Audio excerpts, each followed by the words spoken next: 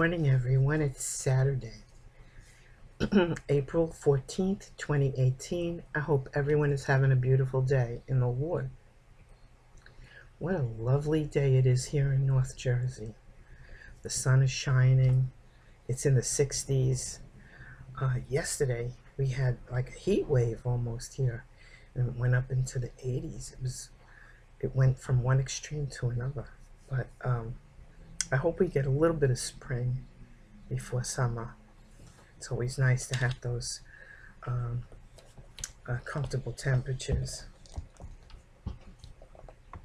I have uh, a couple of devotionals for you today, but first I would like to say the Our Father. So please join me.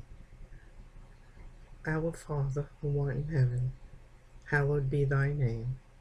Thy kingdom come, thy will be done, on earth as it is in heaven. Give us this day our daily bread, and forgive us our trespasses as we forgive those who trespass against us. And lead us not into temptation, but deliver us from evil. For thine is the kingdom, and the power, and the glory, forever and ever. Amen. Okay. Thank you, Father, for this day.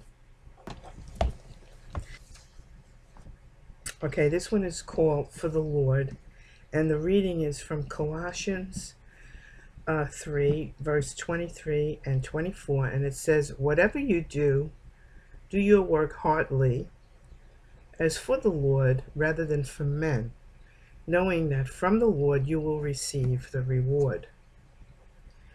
Are you being called upon to make uh, challenging sacrifices. There are times when you may be required to take on jobs or responsibilities that are difficult or you deem beneath you. And you may be tempted to nurse a bad attitude. But don't. Right now, there's nothing more victorious you can do than to give your best effort for the Lord.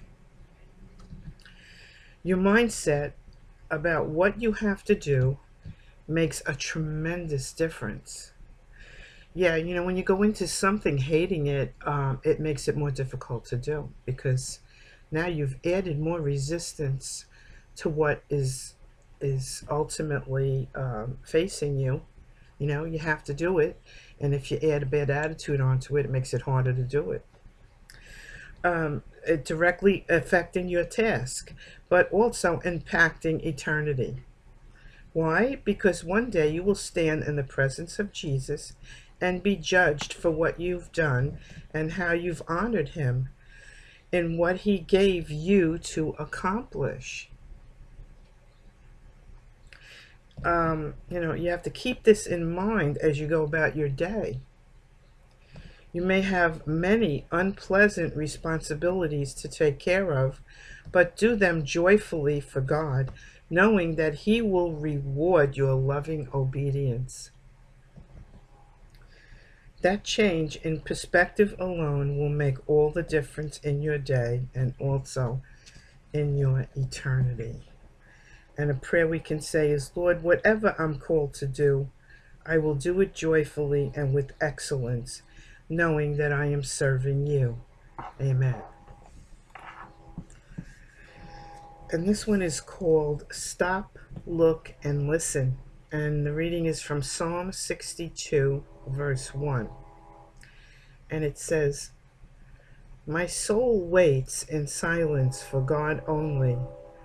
From him is my salvation. Growing up, I recall hearing my first grade teacher remind us repeatedly to stop, look, and listen before crossing railroad tracks. You hear the railroad? You hear the train passing? Only God could do that. That was before we had flashing red lights, warning bells, and those long arms that swing down and block entry onto the rails.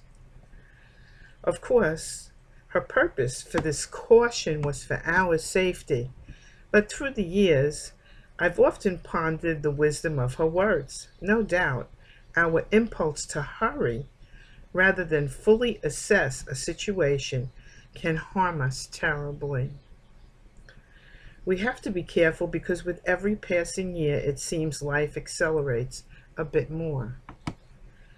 So when you're in a rush, consider what am I missing by moving at such a pace? By rushing through life, you may forfeit the best of what God has for you.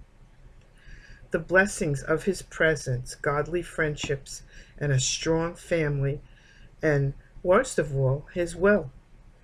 Do not make that mistake. Stop waiting in His presence. Oh, excuse me. Stop by waiting in His presence. Look for His activity and leading, and listen for His direction.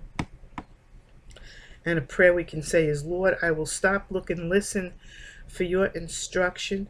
Thank you for keeping me safe and leading me to life at its very best.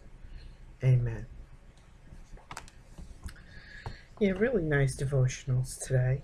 Um, and uh, on that, I'd like to wish you a beautiful day in the Lord. Uh, I um, want to let you know that I I will pray for you if you need it. I have an, an ongoing prayer list here, and uh, every day I add names to it and um, I present your name every morning before the Lord and ask Him to answer your prayer if it is in His will.